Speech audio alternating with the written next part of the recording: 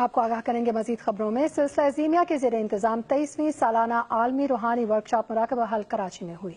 सिलसिला अजीमिया के इमाम सैयद मोहम्मद अजीम बरखिया अलैह के योम विसाल के मौके पर होने वाली वर्कशॉप की तफसील मंसूर आगाज़ से।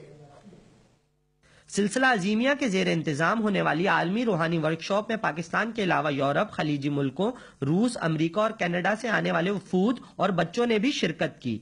वर्कशॉप का उन्वान था सूफिया कराम से इल्म का हसूल और उस पर अमल के तकाजे।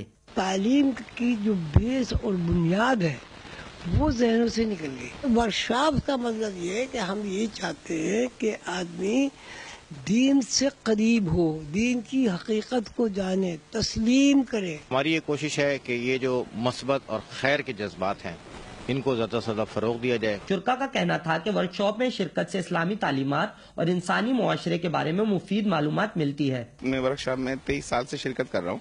इसमें सबसे बड़ा मुझे फ़ायदा होता है मेरे जहन के अंदर वसत पैदा होती है। ये सिखाया जाता है कि जो हमें ऑलरेडी मिला हुआ है इल्म इससे हमें वाकुफ कराते हैं कि इसको किस तरह से इस्तेमाल किया जा सकता है लोगों की भलाई के लिए। इख्तलाफात के इस दौर में इस तरह की तकरीबात के निकात से बैन मजाहिब हमायनगी के ज़रिए अमन आश्ती के फरोग में मदद मिल सकती है। Mansoor Agha Pakistan television news Karachi.